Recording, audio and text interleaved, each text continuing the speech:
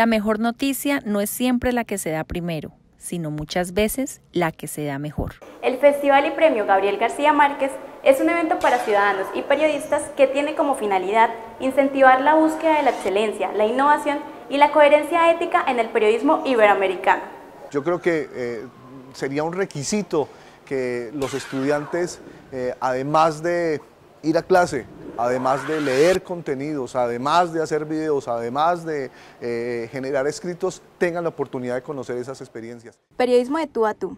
Obsesiones de Gao, La cocina del periodismo, Muestras, Mentes Curiosas y el Premio Gao son algunas de las secciones de la sexta edición de este evento donde se rinde homenaje a los finalistas y ganadores. ¿Por qué las nuevas generaciones deben reconocer los aportes de este referente del periodismo literario?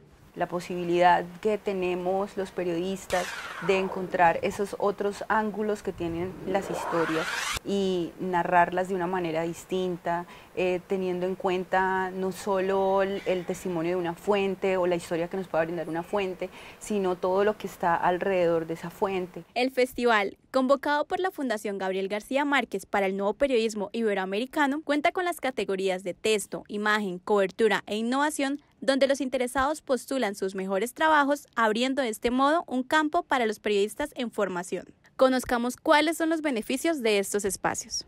El programa de comunicación social de la Universidad Autónoma de Bucaramanga entiende la importancia de escenarios de formación de calidad y en esa medida no solo eh, ha destinado más de 2 millones de pesos para auxilios de transporte para estudiantes que hayan sido admitidos, sino que también otorga permisos académicos para aquellos estudiantes que deseen ir por su cuenta. Este año, el Festival y Premio de Periodismo Gabriel García Márquez se realizará en Medellín del 3 al 5 de octubre.